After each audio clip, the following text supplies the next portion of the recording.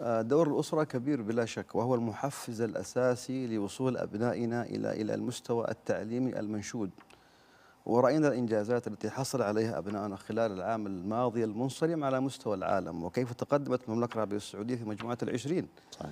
هذا كله لا يمكن لا يمكن أن يأتي من فراغ إلا من أسرة محفزة جاذبة تعطي أبنائها الأولوية للتعليم أيضا تشارك أبنائها في في في في صنع إنجازات بأنفسهم. فكلما أعطينا الأبناء رسائل إيجابية كلما شارك الأبناء في في في طلباتهم الشخصية المدرسية بشكل يومي بشكل آني كلما شعر الأبناء بالشغف. إذا الأسرة هي هي المحضن الأول لتهيئة بيئة تعليمية جاذبة.